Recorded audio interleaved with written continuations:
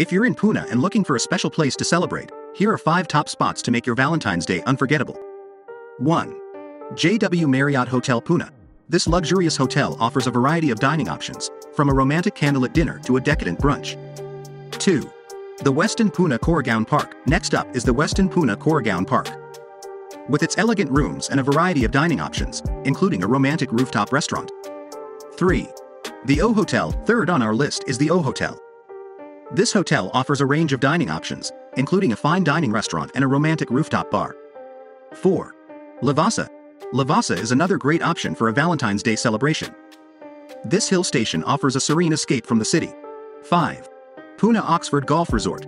Last but not least, we have the Pune Oxford Golf Resort. This resort offers a peaceful escape from the city. So, there you have it. These are 5 places are sure to make your Valentine's Day unforgettable. Make sure to subscribe to our channel.